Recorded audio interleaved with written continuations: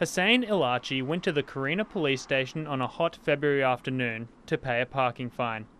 Little did he know he would be wrapped up in a 10 year old hacking scandal. I've gone to give my license, and essentially it's taken them around 10 minutes um, until, like, for them to come out and six of them to surround me and then falsely accuse me of being another person. Police accused him of hacking the Griffith Medical School to cheat on exams in 2013.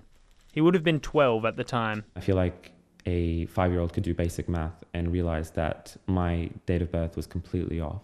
The warrant was for Adam Alachi, a former science student at the school. Police claimed he used keystroke capturing hardware to obtain university staff passwords to help others cheat on exams, and admitted to such in text messages. Hussein says it's a case of racial profiling. They said that my photo looked almost identical to his. On the night of his arrest, Hussein was transferred to the Brisbane Watch House, where he says he was threatened with deportation.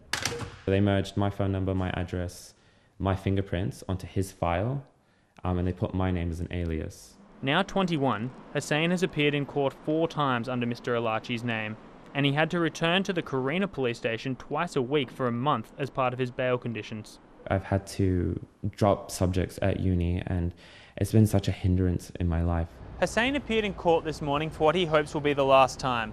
The charges have been dropped, but not because the police think they've got the wrong man.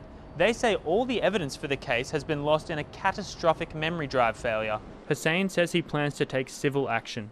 Every step of the way, they have pretty much failed to do their job correctly. Queensland Police says there will be an internal investigation into the incident. Julius Dennis, ABC News.